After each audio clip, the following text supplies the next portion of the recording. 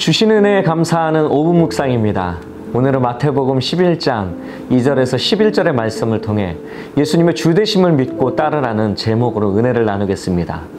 예수님께서 마태복음 10장에서 예언하신 대로 예수님에 대한 반대가 높아지기 시작했습니다. 심지어 세례 요한조차도 약간의 오해를 가지고 있었습니다. 세례 요한은 옥에 갇혀 있는 상황에서 제자들을 예수님께 보내어 당신이 진정 메시아인지를 확인하고 있습니다. 말씀을 통해서 예수님을 어떻게 믿고 따라야 하는지를 살펴보도록 하겠습니다. 내용 관찰 첫 번째 질문입니다. 세례 요한은 예수님께 제자들을 보내 어떤 질문을 합니까? 세례 요한은 투옥된 상태에서 자신들의 제자들을 예수님께 보냅니다. 요한에게도 의심의 싹이 자라게 되었죠. 정말 확인하고 싶은 마음이 있었습니다. 예수님께서 예언된 메시아이신지를 꼭 알고 싶었습니다. 제자들이 이렇게 물어봅니다. 오실 그이가 당신이오니까 우리가 다른 일을 기다리오리까 라고 말이죠. 예수님은 그 질문의 뜻을 아시고 친절히 대답해 주십니다. 너희가 듣고 본 것을 가서 요한에게 알리라고 말입니다. 두 번째 질문입니다. 예수님께서는 어떤 자가 복이 있다고 말씀하십니까? 예수님은 요한의 제자들에게 메시아만이 할 수 있는 정확한 증거들을 말해줍니다. 선지자 이사야가 예언한 것처럼 맹인이 보며 못 걷는 사람이 걸으며 나병 환자가 깨끗함을 받으며 못 듣는 자가 들으며 죽은 자가 살아나며 가난한 자에게 복음이 전파된다고 말씀하십니다. 오직 메시아만이 할 수 있는 일을 예수님이 증거로서 보여주고 있다라는 것입니다. 그리고 누구든지 나로 말미암아 실족하지 아니하는 자는 복이 있다고 말씀하십니다. 실족은 걸려 넘어지는 것을 말하는데 예수님을 받아들이지 않는 사람을 말합니다.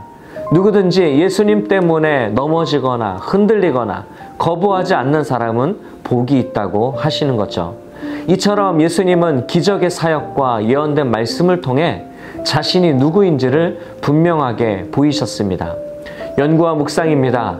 예수님께서는 왜 자신으로 말미암아 실족하지 않는 사람이 복이 있다고 말씀하십니까? 실족하는 사람들은 평범한 사람들이 아니었습니다. 바로 유대인들이었습니다. 많은 유대, 유대인들은 예수님을 메시아로 인정하지 않았습니다. 예수님께서 메시아로서 그들의 기대에 충족할 만한 모습은 아니었기 때문입니다. 그들은 정치적인 왕으로 오실 메시아를 기대했고 유대인들의 마음을 확 이끌 지도자를 소망했습니다. 그래서 나병 환자를 고치신 일, 죽은 자를 살리신 일, 가난한 자에게 복음을 전파하는 예수님의 모습을 보고도 믿지 않았던 것입니다. 진정으로 복이 있는 사람은 기적을 행하시는 예수님을 믿었던 제자들입니다. 하나님이신 예수님을 믿고 실족하지 않았습니다. 우리 유대인들과 같은 의심이 아닌 제자들과 같은 믿음의 모습이 있어야 할 것입니다. 느낀 점입니다. 세례 요한과 제자들에게 믿음을 주시는 예수님을 보며 무엇을 느낍니까? 예수님은 세례 요한의 흔들리는 마음을 아셨습니다. 감옥에 갇혀서 수많은 소리들을 소문들을 들으니 마음이 복잡해진 것입니다. 요한은 자신의 뒤에 오실 분이 불로 세례를 베푸실 것이라고 설교도 했습니다. 또한 예수님께 세례도 베풀었습니다. 예수님이 행한 많은 기적들을 보았습니다. 그럼에도 요한은 예수님에 대한 믿음이 흔들렸고 의심했습니다. 이에 예수님은 세례 요한의 제자들을 통해 말씀하십니다. 너희가 가서 듣고 보는 것을 그대로 요한에게 알리라고 했습니다. 맹인이 보며 못 걷는 사람이 걸으며 나병 환자가 깨끗함을 받으며 못 듣는 자가 들으며 죽은 자가 살아나며 가난한 자에게 복음이 전파된다고 전달하라는 것입니다. 예수님은 주변 사람들 때문에 흔들리는 요한의 마음을 실족하지 않게끔 바로잡아 주셨습니다. 예수님이 행하신 모든 것이 구약에 예언된 말씀이라는 것을 깨닫게 해주셨습니다.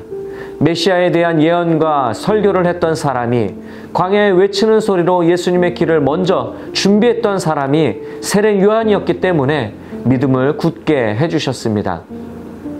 결단과 적용입니다. 내가 예수님의 일하심을 믿지 못하는 부분이 있다면 무엇입니까? 삶의 어려운 순간에도 예수님의 일하심을 믿고 따르기 위해 구체적으로 무엇을 결단하겠습니까? 우리가 예수님을 의심하게 되는 상황을 생각해 보면 왜 믿지 못하는지를 알 수 있습니다. 의심은 내 안에 생겨난 또 다른 질문입니다. 경험하지 못해서 예수님을 알지 못하는 것이고 믿음이 흔들리게 되는 것입니다. 내가 신앙생활 했던 과거에는 내 믿음의 뿌리가 흔들린 만큼의 불신이 없어서 그렇습니다. 그리고 의심이 드는, 드는 상황은 꼭 삶의 어려운 순간에 나타나게 되는 것이죠. 그래서 믿음이 없어지고 확신에 거하지 못하게 되는 것입니다. 흔들리는 믿음을 붙잡기 위해서는 지금의 상황에 빠져 있는 것이 아니라 은혜 받았던 과거의 시절을 떠올리는 것입니다. 하나님께서 어떻게 일하셨는지를 먼저 생각해야 합니다. 내 삶에 은혜를 부어주셨던 하나님의 손길과 기적의 시간들을 깊이 묵상하는 것입니다. 그리고 말씀을 통해 하나님의 음성을 들려달라고 기도해야 합니다. 말씀이 읽혀지고 보여지고 귓가에 들려지기 전까지는 힘이 듭니다. 그러나 어려운 상황을 견디면서 하나님께 주의 음성을 들려달라고 기도하면 반드시 응답하실 것입니다. 누구에게나 삶의 어려운 순간은 다가오고 예수님에 대한 믿음이 아, 흔들릴 때가 있습니다. 그때 더 굳건한 믿음으로 승리하는 우리 모든 성도님들 되시길 부탁드립니다. 이 시간 함께 합심하여 기도하기를 원합니다.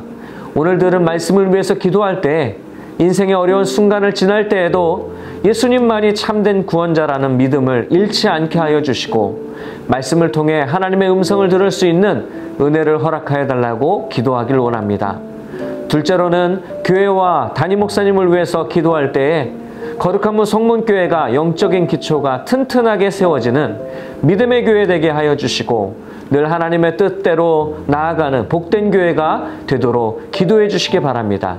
또한 사랑하는 담임 목사님을 위해서 기도할 때에 영적인 힘과 육적인 건강을 허락하여 주시고 목회 사역 위에 성령의 기름 부음을 허락하여 주시사 큰 사명을 잘 감당해 나가실 수 있도록 기도해 주시기 바랍니다. 마지막으로 성문교회 영가족들 가운데 믿음이 약한 자들이 다시 회복될 수 있는 큰 은혜를 허락하여 주시고 질병으로 인해 연약한 영혼들이 치유되어 성전으로 나올 수 있도록 함께 기도하겠습니다. 우리 합심하여 함께 기도하겠습니다.